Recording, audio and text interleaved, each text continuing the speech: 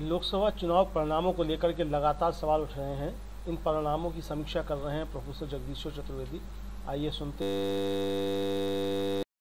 और आश्चर्य की बात है कि लोकसभा जो रवैया है और रुख है, वो उनको संदेह के दायरे में खड़ा करता है।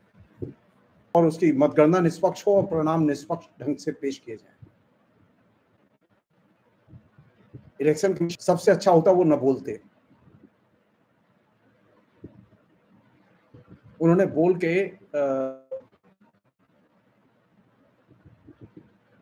इलेक्शन कमिश्नर के पद की गर्मा को कम किया है। बस इतना हेट कैंपेन चल रहा है और थर्ड पार्टी का हेट कैंपेन चल रहा है। मैंने एक वीडियो भी किया था। इलेक्शन कमीशन ने रोका नहीं उसको। इलेक्शन कमिश्नर ने आज, कल दो दिन में जवाब भी नहीं दिया उन प्रश्नों का।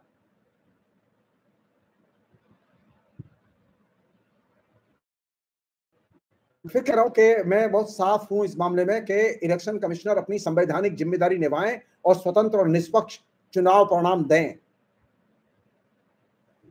और एक और मांग कर रहा हूँ मैं ये जो सुप्रीम कोर्ट ने जो ऑर्डर दिया था जिसके तहत किसी भी कैंडिडेट को आ, अपनी तो ऐसा है कि कोई कैंडिडेट ले ही नहीं सकता उसे। तो उसका खर्चा दस करोड़ रुपया आएगा। दस करोड़ रुपया तो कैंडिडेट ने इलेक्शन में खर्च नेशन अपने कदमों से इलेक्शन को और उसके परिणामों को संदेह के दायरे में ला रहा है।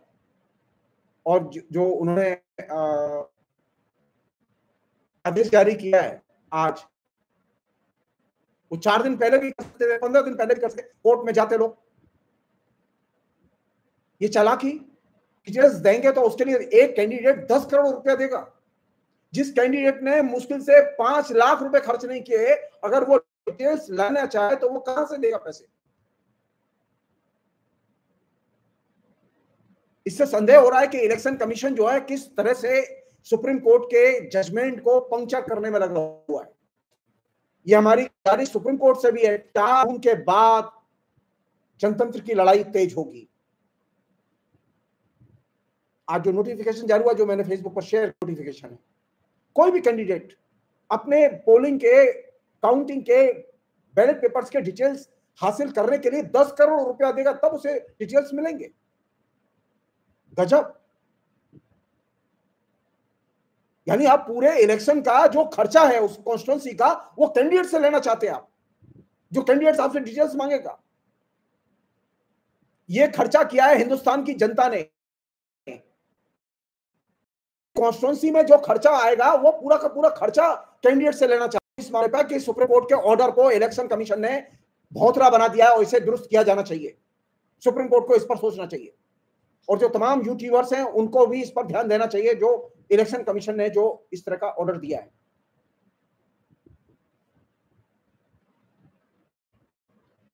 अब एक अन्य पहलू है जो कि चार तारीख के जज ये जो परिणाम आएँगे, उसके बाद बहुत महत्वपूर्ण है वो, ये इलेक्शन ये साधारण इलेक्शन नहीं है।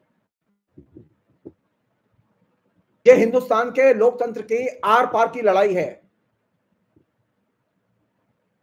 अगर कल निष्पक्ष परिणाम नहीं आते हैं तो जनता को सड़कों पर उतरना होगा।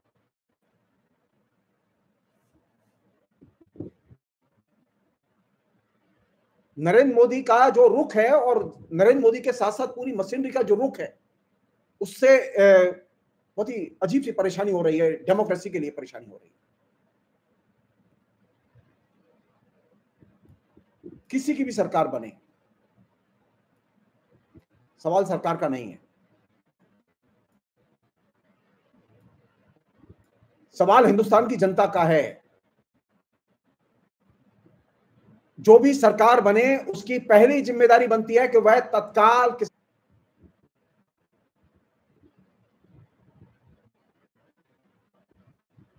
किसानों ने अपना आंदोलन वापस नहीं लिया है, वे अभी भी सिंधु बॉर्डर पर बैठे हुए हैं।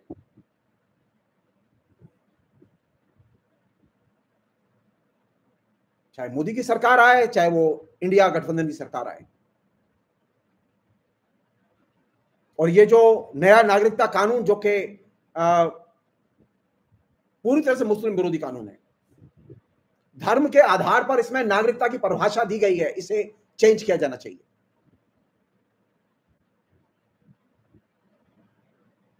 आप लोगों की नागरिकता धर्म के आधार पर तय करेंगे और ये इलेक्शन की मैंडेट के साथ जाएगी ये चीज़।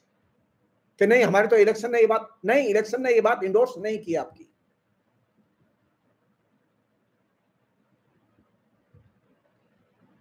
आपने ज़बरदस्ती लोगों के ऊपर थोपा है इसे। आपने लोगों की राय नहीं मानी।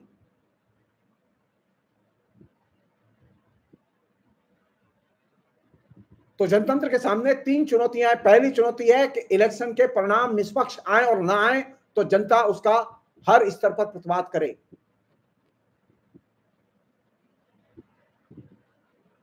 नंबर दो, जो भी सरकार बने अगर निष्पक्ष परिणाम नहीं आ रहे तो सरकार नहीं बननी चाहिए। सुप्रीम कोर्ट तमाम आरोपों की जाँच करे। और ये मैं बात साफ़ कहना चाहता हूँ, ईश्वर न करे कि कोई आरोप लगे।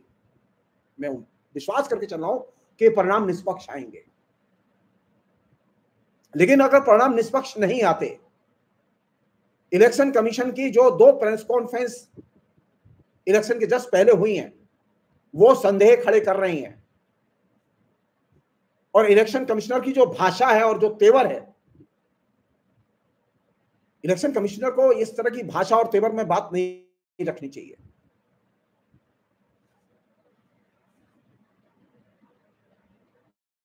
चार जून के बाद किसानों की समस्या सबसे बड़ा मुद्दा है हिंदुस्तान का, क्योंकि किसान पैंसठ प्रतिशत से अधिक आबादी को रिप्रेजेंट करते हैं।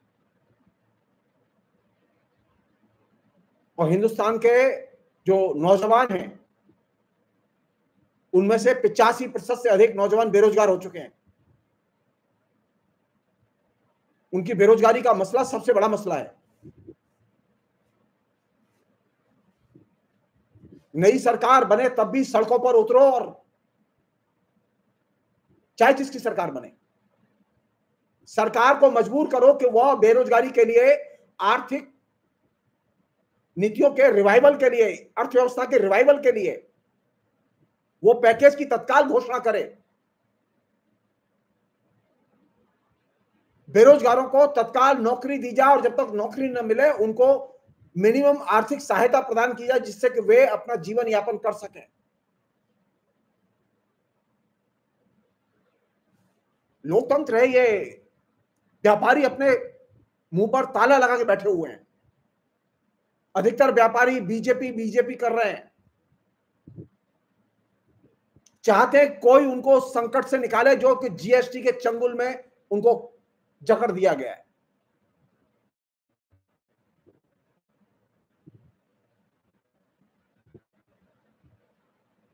जीएसटी को लेकर जितनी भी शिकायतें हैं, व्यापारिक समुदाय की उस शिकायतों को तत्काल एड्रेस किया जाए और रिजॉल्व किया जाए with in a month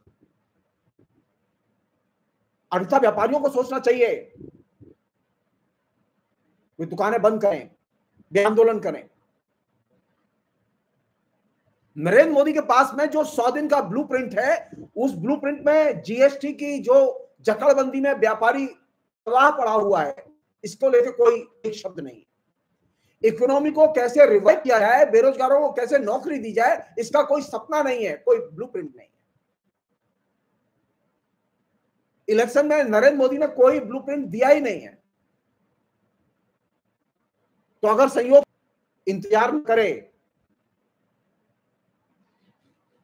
Hindustan के नौजवान बेरोजगारी के लिए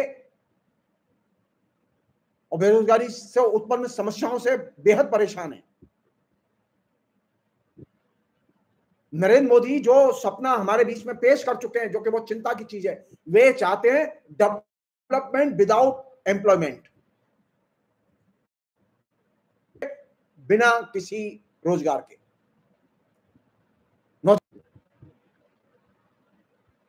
मुझे ऐसा डेवलपमेंट नहीं, नहीं चाहिए जिसमें के बेरोजगारी बेशुमार रहो। मुझे ऐसी अर्थव्यवस्था नहीं चाहिए देश के लिए। और इससे इन सबसे बड़ी चीज़ जो कि चार जून के पढ़ के बाद दिखाई देनी चाहिए।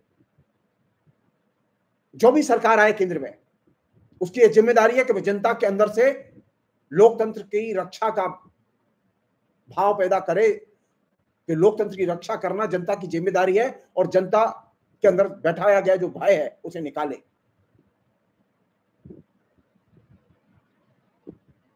और इसके लिए एक सबसे सफल कदम, पहला कदम यह होगा कि जो राजनीतिक बंदी हैं, राजनीतिक कैदी हैं, उनको तत्काल छोड़ा जाए और यूएपीए में जो बंदी हैं, उनको तत्काल छोड़ा जाए। और जो झूठे मुकदमे लगाए गए वो तुरंत हटाए जाएँ। ये कैसे हो सकता है कि आप जो कैदी हैं, उनको बंद रखेंगे, राजनीतिक कैदियों को बंद रखेंगे? नहीं। सभी राजनीतिक केस, उन तमाम लोगों के खिलाफ में जो केस जिन्होंने कभी जीवन में अपराध नहीं किए जिनके ऊपर केस लगाए गए वे सभी केस तुरंत वापस लिए जाएँ। ये नई सरकार से हमारी मांग है। और मीडिया में, और सामान्य जीवन में, और सोशल मीडिया में, इंटरनेट पर अभिव्यक्ति की आज़ादी पूरी तरह से नए सिरे से स्थापित की जाए।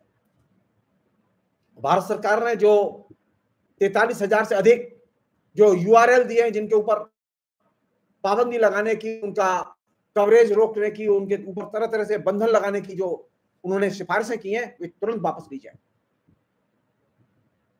स्वतंत्रता लोकतंत्र की धुन है, इसको अदालत में की है उनके आर्थिक अधिकारों को छीना है, हितों के और आर्थिक पक्ष के आवंटन को लेकर। वो सिफारिशें इन टोटो लागू की जानी चाहिए। और राज्यों की स्वायत्तता और राज्यों के काम में राज्यपाल के हस्तक्षेप सरकारें चल रही है विपक्ष की, उनको सड़कों पर उतरना चाहिए।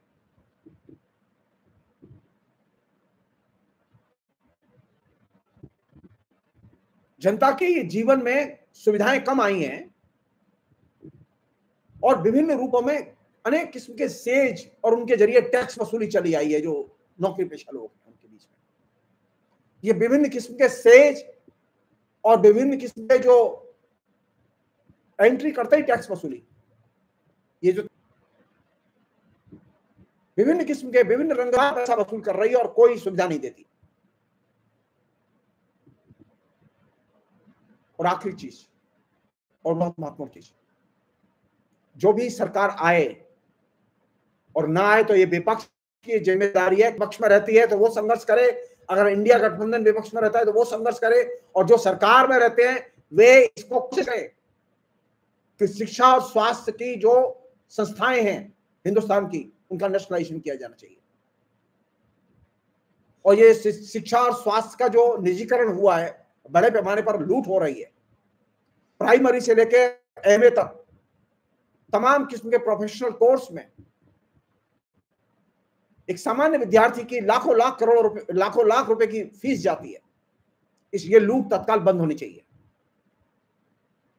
नॉमिनल फ़ीस दी जाएगी। नेशनलाइजेशन और नॉमिनल फ़ीस और जो तो जो भी प्राइवेट सुविधाएँ हैं, उनका नेशनलाइजेशन। शिक्षा और स्वास्थ्य का राष्ट्रीयकरण एक बहुत बड़ा मुद्दा है, क्योंकि हिंदुस्तान की जनता के पास में अपने बच्चे पढ़ाने के लिए पैसे नहीं है।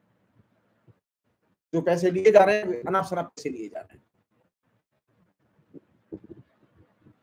और आखिरी चीज़, इस पूरे प्रसंग में, ये चार जून के बाद की लड़ाई का बात, मामला है। जिन लोगों ने एयरपोर्ट पर एक ईंट नहीं लगाई, कोई पैसा निवेश नहीं किया। जिन लोगों ने कोई पैसा रेलवे स्टेशन पर निवेश नहीं किया, उनको आपने रेलवे स्टेशन और एयरपोर्ट और पोर्ट दे दिए। ये पोर्ट और एयरपोर्ट और रेलवे स्टेशन ये सारे के सारे पुनः नेशनलाइज किए जाने चाहिए। और पुरानी जो पेंशन स्कीम है कर्मचारियों की उसे राष्ट्रीय स्तर पर लागू किया जाना चाहिए। अब नया पे, पे, पे, पे कमीशन बनेगा। ये जो बदतमीजी सेवन पे कमीशन में कर्मचारियों के साथ सही निर्धारण नहीं ये बदतमीजी अब नहीं होनी चाहिए। कर्मचारियों की पगार आज की महँगाई और दूसरी चीज़ों को ध्यान में रख के नए सिरे से निर्धारित की जानी चाहिए। और ये वह मांग पत्र है एक तरह से, जो अगले चार जून के बाद सरकार को लागू करना है। जो सरकार दौड़ के हर चीज़ लागू कर रहे हैं, विश्वास करती है, हम देखना चाहते हैं इनमें से वो किस चीज़ में सबसे पहले हाथ डालती है। पहली दो चीज़ें हैं जिन पर मैं तुरंत एक्शन चाहता हूँ, जो भी सरकार हो। किसानों की मांगे तुरंत हल की जाएँ। और नए नागरिकता कानून को तुरंत वापस लिया जाए। और बेरोजगारी को दूर करने के लिए तुरंत नोटिफिकेशन कदम उठाए जाएँ। ये पहली सरकार आते ही, शपथ लेते ही ये कदम उठाए। अगर सरकार कदम नहीं उठाती तो मेरी आप सब लोगों से अपील है कि आप सड़कों पर उतरे। मेरी विभिन्न राजनीतिक संगठनों से अपील है, क्योंकि ये एक समस्या है। हम ये मान के चल रहे हैं, लोग ये, अरे, लोग इतने नशे में हैं कि एग्जिट पोल आ गया और नरेंद्र मोदी जीत रहे हैं। वो किसी मुद्दे पर बात नहीं करना चाहते।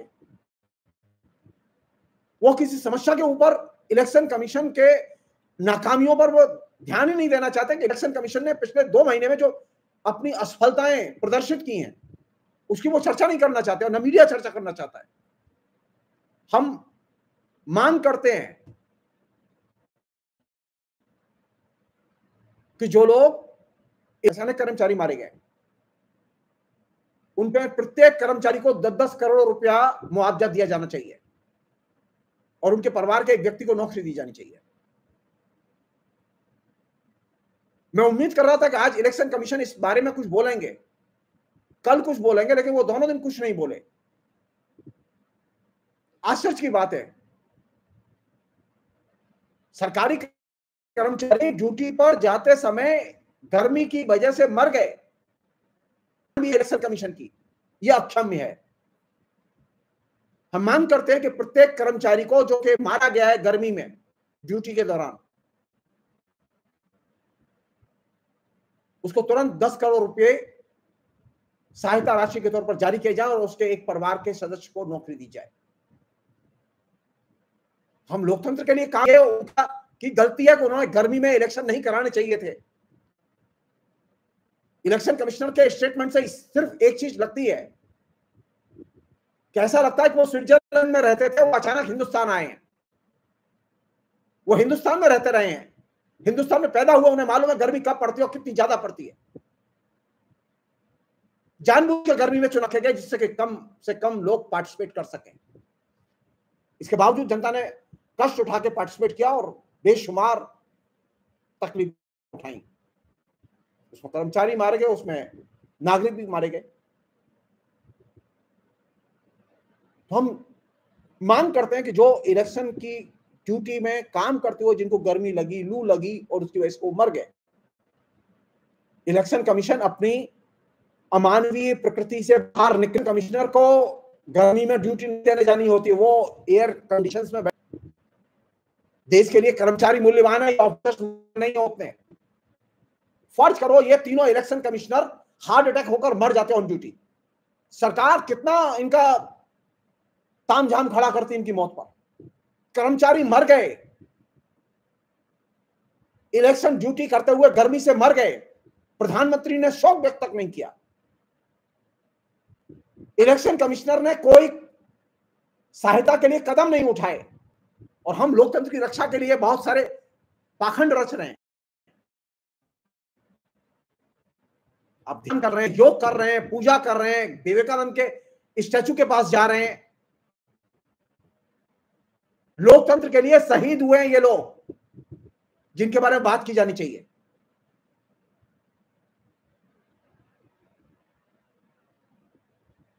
उनको तुरंत मुआवजा दिया जाना चाहिए।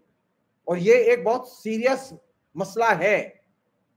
अनफॉर्चुनेटली ये अभी भी राजनीतिक दल, जितने भी राजनीतिक दल है, किसी ने भी ये बात नहीं उठाई है।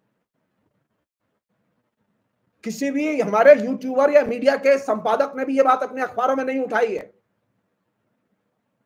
कि जो कर्मचारी ऑन ड्यूटी थे, वे जो लू से मरिए और उनके परिवार के व्यक्ति को नौकरी दी जाए। मर गए तो मर गए। इतना कैजुअली न कोई मुख्यमंत्री दुख व्यक्त कर रहा है, ना कोई प्रधानमंत्री दुख व्यक्त कर रहा है, न इलेक्शन कमिश्नर दुख व्यक्त कर रहा है। नागरिक की और की, जो कि आपका एक तरह से वो सबसे महत्वपूर्ण एलिमेंट है इलेक्शन कमीशन का। इलेक्शन को इंप्लीमेंट करने का। उसकी इतनी अवहेलना नहीं। ये जो अमानवीयता है, ये अमानवीयता रिफ्लेक्ट कर रही है उस सिस्टम की, जिस सिस्टम पर इलेक्शन कमिश्नर बैठे हुए हैं। उन्हें ज़्यादा मानवीय होने की ज़रूरत है। मैं आप सब लोगों से अपील करता हूँ कि आप सब लोग इस मसले पर सोचें और बात करें। चार जून लोकतंत्र के पुनर्जन्म की तारीख है। बैलेट पेपर से जन्म लेगा या बैलेट पेपर के बाहर सड़कों पर जन्म लेगा लेकिन वो जन्म लेगा। क्योंकि ऑलरेडी हिंदुस्तान के मजदूर वर्ग कर्मचारियों ने लोकतंत्र के लिए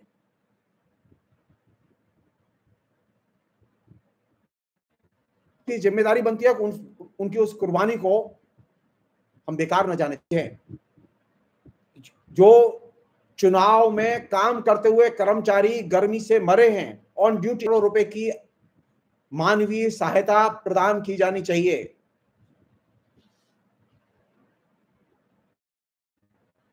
उनकी मौत पर इलेक्शन कमिश्नर दुख कमिश्नर दुख का इजहार करें।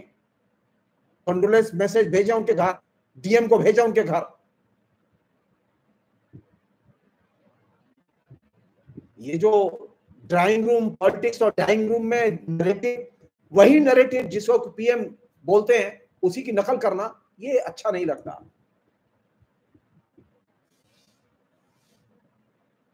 मैं आप सब लोगों से कहना चाहता हूँ कि आ करें, कल वोटों के साथ श्रद्धांजलि हो। आशा है ये आशा है ये कार्यक्रम आपको पसंद आया होगा। इस वीडियो को ज़्यादा से ज़्यादा शेयर करें लाइक करें और कमेंट करके बताएँ आपकी राय क्या है। और अगर आपने हमारा यूट्यूब चैनल अभी तक सब्सक्राइब नहीं किया है तो तुरंत इसको सब्सक्राइब कर लीजिए और बेल आइकन भी दबा दीजिएगा ताकि अगली जब वीडियो अपलोड हो तो आपके इसका नोटिफिकेशन पहुँच सके। और अगर आपने हमारा फेसबुक पेज फॉलो नहीं किया है फेसबुक पेज को भी फॉलो करें। धन्यवाद।